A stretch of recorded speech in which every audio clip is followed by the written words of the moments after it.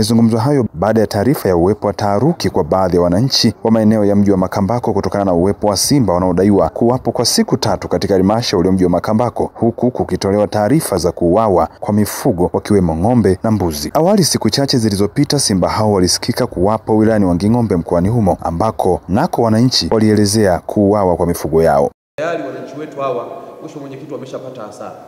Unapopiga hesabu tayari Jamkena kuna ng'ombe au wameliwa e, pale pale pale kwa taarifa ni kwamba kuna ng'ombe aliliwa mmoja, sijui na mwingine aliuawa, lakini ameliwa na nguruwe.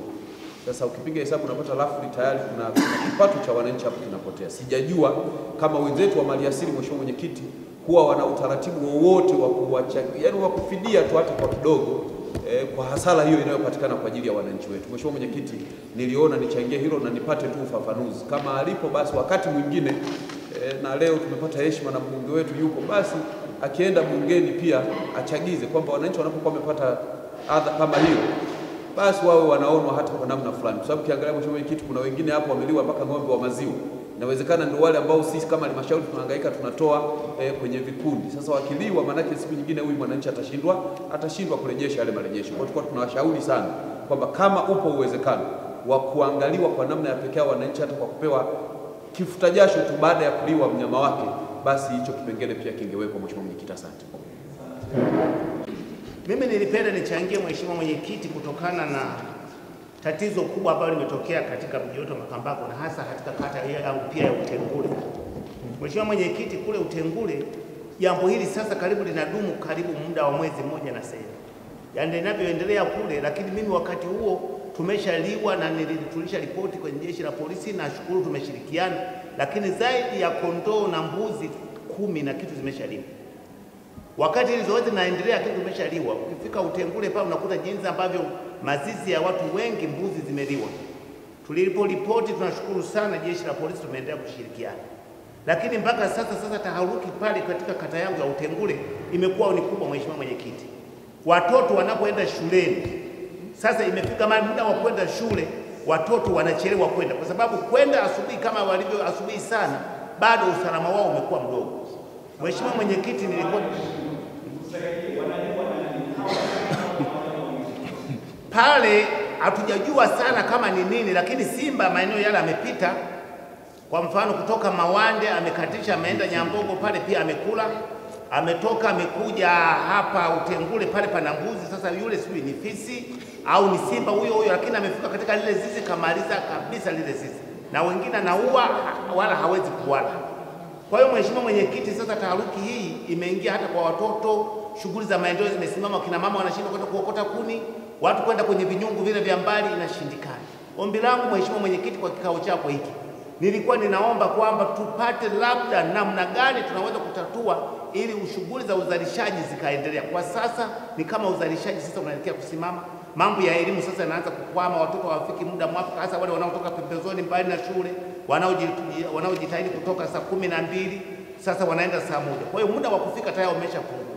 Nilikuwa ninaomba Mheshimiwa Mwenyekiti, kwa kikao chako hiki tupate suluhu namna gani ambavyo tunaweza kutatua hao wanyama wakati Ni sehemu ya wahanga ambao kwenye halmashauri yako ya mji Makambako kata ya Mkena e, tulivamiwa Jumamosi kuamkia Jumapili pale, mimi waliwa ng'ombe wawili, lakini pia siku ya pili kuamkia jana tena meliwa nguruwe tena nyumba hiyo hiyo.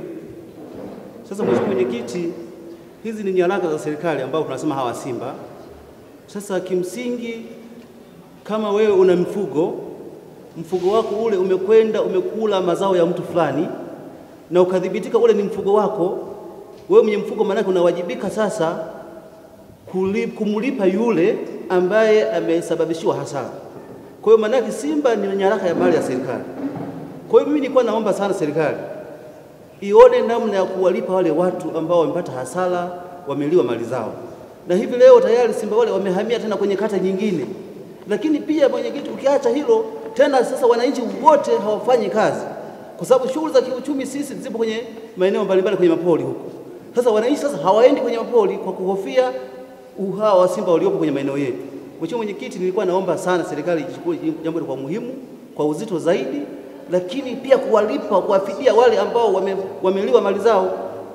Ni ng'ombe wengi, kwa mfano kwangu pale ng'ombe wawili nguruwe mmoja, lakini leo wamekwenda huko na bado hatujui wanaelekea wanaelekea wapi. Mheshimiwa Mwenyekiti, tuombe jambo hili lichukuliwe kwa uzito sana. Asante Mheshimiwa Mwenyekiti.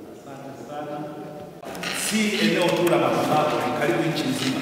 Manake nini? Manake wenzetu wa wanyama pori, hebu wafanye utafiti, nini tatizo kule mbugani hadi wanyama wanatawanyika kiasi hiki?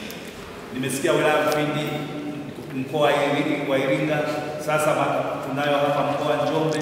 Kwa hiyo ina maana kwamba ile maisha yao ya, kawaida yamekuwa disturbed, yamesumbuliwa namna moja au nyingine, kuna kitu hakiko sawa.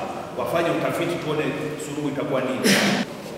Mheshimiwa mkuu wetu wa wilaya pamoja na kamati yako ya ulinzi na usalama, Mheshimiwa madiwani wenzangu, mkurugenzi, mwenyekiti, na makamu mwenyekiti wetu halmashauri, pamoja na wataalamu wote wa halmashauri pamoja na vyombo vya habari ambaye mko. Hoja iliyoko mbele yetu hapa ziko nyingi, lakini hii imeletwa mahususi inayohusiana na wanyama wakali ambao tayari wameingia katika halmashauri yetu au katika jiji letu la Makambako. Kwanza, mwenyekiti, mlete salamu za waziri mwenye dhamana, anawapa pole wananchi wote wa Makambako, hususan na wewe mwenyewe mwenyekiti na watu wako juu ya suala hili ambalo limetokea katika halmashauri yetu. Nilipompa taarifa jana alfajiri sana, nilimtafuta juzi usiku, sikumpata jana alfajiri, nikampata na ndio ameweza kutuma maafisa wake hao saba na ataendelea kuwaleta wengine. Hivi siku mbili tatu watakuja wengine juu ya kuhakikisha swala hili eh, lina- nafanikiwa juu ya kuwapata hao wanyama kama ambavyo waheshimiwa madiwani hapa wamechangia lakini vile vile ameniambia niwaambie hili swala ambalo waheshimiwa ma, ma, ma, madiwani wamesema hapa, pia nami niliuliza hili linalohusiana sasa na namna na- gani wananchi watalipwa fidia juu ya wanyama wao. Alichoniambia wanalifanyia kazi ya wilaya katika halmashauri ya Makambako. Jumamosi nilikuja na baadhi ya wajumbe wa kamati ya usalama katika kata ya Liamkena. Mheshimiwa diwani, pole sana. Nafahamu kwamba waliingia kwenye kijiji cha Malongwe na leo asubuhi nimepata taarifa kwamba wamekula ng'ombe mwingine katika kijiji cha Mkolango na wamemjeruhi na nguruwe. Kama alivyosema mheshimiwa mbunge, nashukuru kwanza mheshimiwa mbunge kwa jitihada za kuongea na mheshimiwa waziri. Hili jambo liliwasilishwa kwa mheshimiwa mkuu wa mkoa na akawasiliana na TAWA makao makuu, wale maafisa wa wanyamapori, na wakawa wamesema kwamba wataongeza nguvu. Sasa mpaka jana kulikuwa hamna nguvu ambayo imeongezwa, lakini nimepata taarifa leo kwamba nguvu imeshaongezeka na wanafanya kila jitihada kuhakikisha kwamba wale wanyama wanakamatwa. Ombi yangu kwa wananchi kwa sababu wale wanafanya kazi yao na sisi tufanye kazi yetu. Kazi yetu ni moja tu, kuchukua tahadhari.